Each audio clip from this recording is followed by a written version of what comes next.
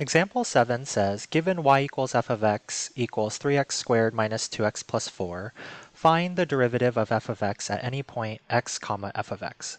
So we want to find y prime, which is the same thing as f prime of x, which equals the limit as h approaches 0 of f of x plus h minus f of x all over h.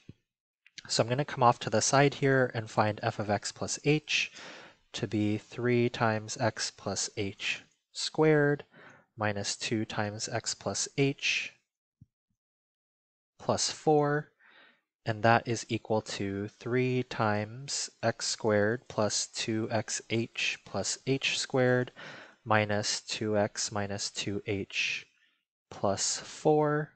I'm going to distribute that 3 in now, so we have 3x squared plus 6xh plus 3h squared minus 2x minus 2h plus 4. Let's see if we can't combine any like terms. It does not look like it, so we're just going to leave it like that. And so this is equal to the limit as h approaches 0 of that really long ugly thing. I'm going to actually maybe let me write it up here because it's kind of long and ugly. 3x squared plus 6xh my, plus 3h squared minus 2x minus 2h plus 4. And then I want to subtract off 3x squared minus 2x plus 4 all over h. Let's see if we can't cancel some stuff out. So 3x squared minus that 3x squared the minus 2x, if we distribute the negative sign in, will cancel out with that negative 2x and the 4 and the minus 4. So those all have canceled out. And now that equals the limit as h goes to 0 of 6xh plus 3h squared minus 2h all over h. And that equals the limit as h goes to 0 of h times 6x plus 3h minus 2 all over h. This h and this h will divide.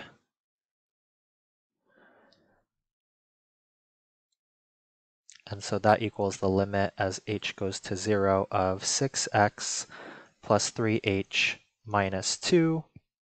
And if we plug in 0, that's just going to give us 6x minus 2.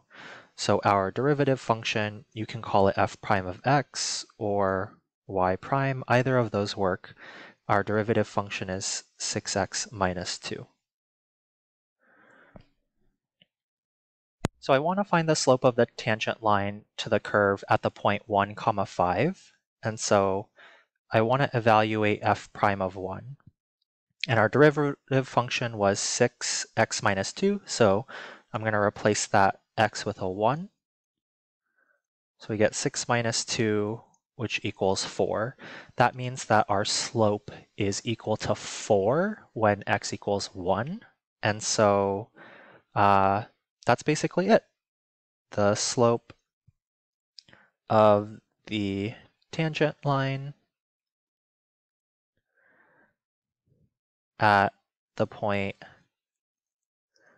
1 comma 5 is 4.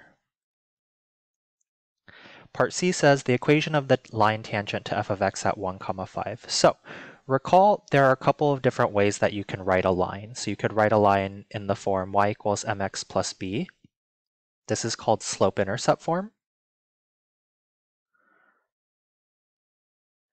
And the more less commonly used form is called point slope form. So that's y minus y1 is equal to m times x minus x1. This is called point slope form. If you don't remember it from algebra, that's okay. You might have to do some refreshers, but those are the two forms that we uh, most commonly deal with for linear functions. There's also this the one called standard form, which is ax plus by equals c. So that is standard form. But we are going to work with the point slope form. And so we have y minus our y value for the point. So this is x1 and this is y1. So we have y minus 5 equals our slope, which we calculated in the previous one, in the previous part, was 4, and then times x minus 1.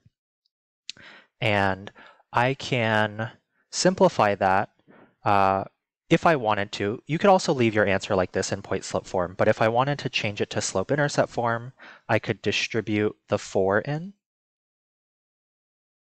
and then add 5 to both sides. So we get 4x uh, plus 1. So you can leave your answer in either of these. So again, this is point slope form. And this one is called y-intercept form. And both are, are acceptable. I'm happy with either one. So I just really quickly wanted to illustrate. So I've gone ahead on Desmos and I've graphed my original function. And I've also graphed this, uh, this line that we calculated here, y equals 4x plus 1. So notice if I zoom in here, the blue line is the tangent line and the red line or the red curve is our graph. And it's, it's in fact matching up.